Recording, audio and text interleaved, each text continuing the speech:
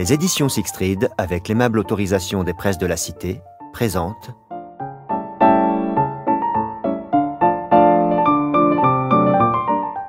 Autodafé, l'art de détruire les livres de Michel Onfray, interprété par Chad Raïs.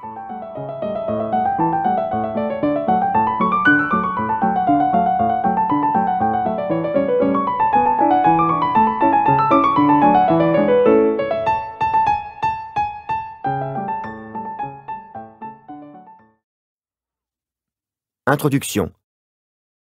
La fachosphère de gauche. Je ne sais si le regretté Alain Ray aura eu le temps, avant de défuncter, de faire entrer le mot fachosphère dans son dictionnaire culturel en langue française, mais il a fait rentrer celui de facho il y a un moment déjà. Ce dernier substantif date de 1968, comme c'est étonnant. Il en fait un vocable familier ainsi défini. Fasciste, réactionnaire. Il l'associe à Faf. En guise de citation littéraire illustrative, le lexicographe convoque Cécile Saint-Laurent, l'homme des Caroline Chéry, qui fut vichiste même après Vichy, et San Antonio, le père de Bérurier. C'est dire le caractère hautement scientifique du concept. Certes, c'est mai 68 qui crée le mot facho, mais c'est Staline, l'homme du pacte germano-soviétique contracté avec Hitler et effectif entre le 23 août 1939 et le 22 juin 1941, qui utilise le mot fasciste comme un couteau suisse, qui lui permet d'égorger verbalement quiconque a le malheur de lui déplaire.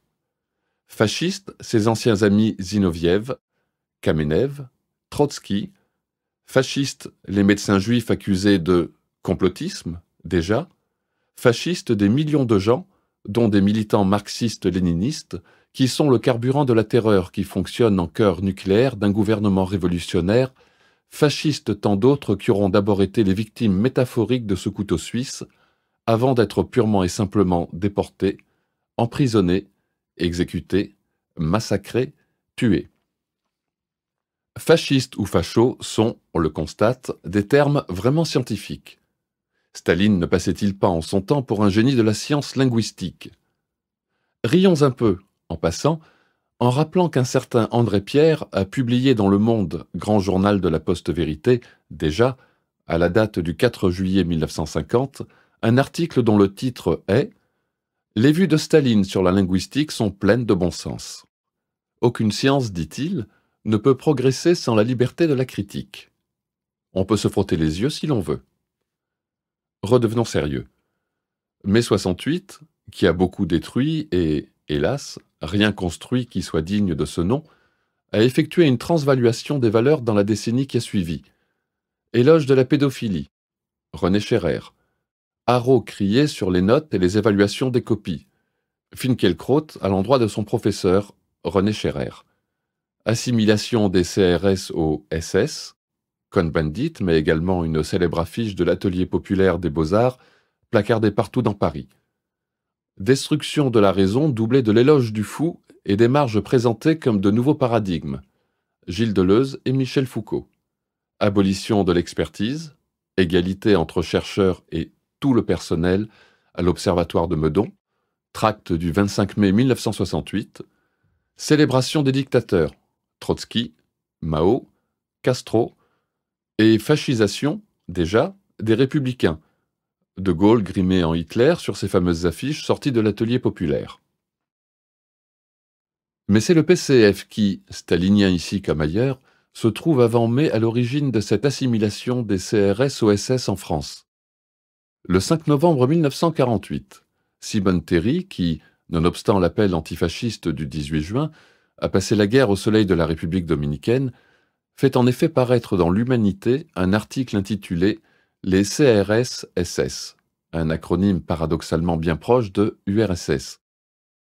Si j'étais freudien, la journaliste communiste couvre les grèves des mineurs matées par le ministre de l'Intérieur Jules Mock, un socialiste, qui a fait tirer à balles réelles sur les ouvriers. Fin novembre 1948, un député du PCF, Alfred Malray-Joinville, un ancien résistant de 1943, que pensait-il avant en 1939, en 1940, en 1941, en 1942, à l'époque du pacte Molotov-Ribbentrop? On ne sait. Reprend l'analogie dans l'enceinte de l'Assemblée nationale. De Staline au Black Bloc soutenu par la presse maastrichtienne, en passant par le PCF stalinien doublé du Mitterrand du coup d'État permanent, le pamphlet date de 1964, sans oublier la gauche dans son spectre le plus large. PS, LFI, EELV, l'assimilation de l'opposant ou même celui qui pense librement aux fascistes est récurrente. C'est, bien sûr, une insulte qui ne repose sur rien de concret, sinon le désir de salir, d'exclure, d'évincer, de décapiter métaphoriquement. C'est un genre de guillotine verbale. Car fasciste est un signifiant qui dispose d'un signifié historique extrêmement précis. Si l'on veut savoir ce qu'est vraiment le fascisme, il faut lire Les Décombres de Rebatté suivi de ses Mémoires d'un fasciste. Pour information, en passant, Mitterrand appréciait tout particulièrement Les Décombres, au point que son épouse, Danielle, avait même pris soin de relier le volume en cuir noir. Chez les Mitterrand, on savait ce qu'était vraiment le fascisme. Le futur président de la République en venait. Dans les années 1930, il participe à des manifestations où l'on fustige le métèque. Dans les années 1940, il est maréchaliste, vichiste, pétainiste. Dans les années 1950, il défend l'Algérie française. Dans les années 1980, il fait fleurir la tombe de Pétain et réhabilite les généraux putschistes d'Alger. En mai 1995, lors du dernier déjeuner qu'il fit à l'Élysée, après de septennat, il entretient Jean d'Ormesson de la puissance formidable du lobby juif en France. L'homme fut constant, mais ça n'est pas la constance à laquelle on pense. Le fascisme historique n'a pas grand-chose à voir avec le fascisme hystérique. Il est d'ailleurs étonnant, mais à peine, que les tenants du fascisme historique de gauche soient les promoteurs du fascisme hystérique à gauche. Car, quand on se réclame de l'Union soviétique, qui a pactisé avec le régime national-socialiste pendant deux ans, 1939-1941, quand on soutient un PCF qui a demandé l'autorisation de reparaître à l'occupant nazi en France en juin 1940 sous prétexte d'ennemis communs, les Juifs, la City, les gaullistes, la social-démocratie et les Anglais, quand dans l'Humanité, en 1945, les journalistes communistes ont traité d'hitléro-trotskistes les militants nationalistes algériens qui se sont réjouis de la libération à Sétif et Guelma avant de périr sous les balles de la police, quand en 1952 on a fermé les yeux sur la politique antisémite de Staline lors du fameux procès des blouses blanches, quand on a ce passé qui s'avère un passif, on ne devrait pas traiter qui que ce soit de fasciste à la légère. Le fascisme historique se définit clairement. Il récuse la démocratie, les élections et la République au profit de l'insurrection armée qu'il mène d'abord avec des combats dans les rues. Il fustige la Déclaration des droits de l'homme, la Révolution française dans sa totalité, la philosophie des Lumières corruptrice de la nation catholique. Il se moque de l'état de droit au profit d'un pouvoir absolu donné à un chef dont la parole a force de loi. Il combat clairement les juifs, les francs-maçons, mais également les protestants, coupables, selon lui, d'activer un État sécessionniste dans l'État. Il fomente des guerres au nom de l'espace vital et célèbre l'hygiène virile qui s'exprime dans les combats. En ce sens, il se révèle expansionniste, impérialiste et colonialiste. Il défend un racisme biologique construit sur l'inégalité des races avec une supériorité proclamée pour la race blanche. Il assigne à la femme le rôle de l'épouse et de la mère, elle n'est que le ventre du repos des guerriers et de la démographie blanche.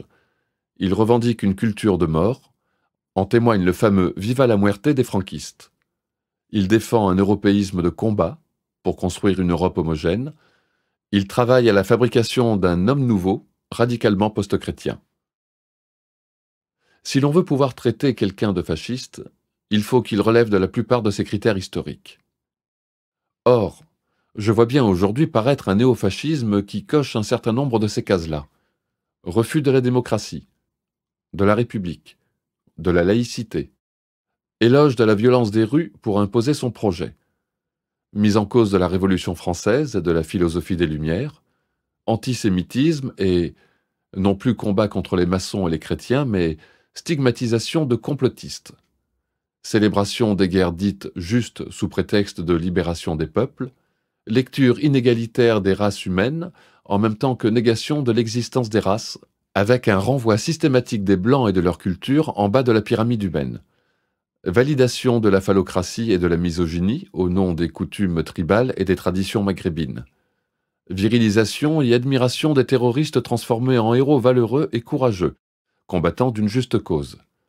Soumission à la culture de mort qui permet d'associer l'obtention du paradis à l'assassinat d'enfants juifs devant leurs écoles confessionnelles, de croyants dans leurs églises, prêtres compris, ou de mécréants pris au hasard dans la rue. Haine des États et des nations au profit d'un internationalisme, l'Europe étant le premier maillon de cette destruction des nations au profit d'un monde globalisé. Construction conceptuelle d'un homme nouveau, post-naturel, artificiel, susceptible de générer une nouvelle civilisation, celle du transhumanisme. Or, ce néofascisme se constitue en étoile avec un certain nombre de branches qui toutes se rassemblent en un même centre, à savoir une civilisation post-chrétienne, le décolonialisme, l'indigénisme, le néo-féminisme, le racialisme, la théorie du genre, le différentialisme, le ségrégationnisme, le communautarisme, parmi d'autres instances, travaillent à réaliser ce projet néofasciste de gauche.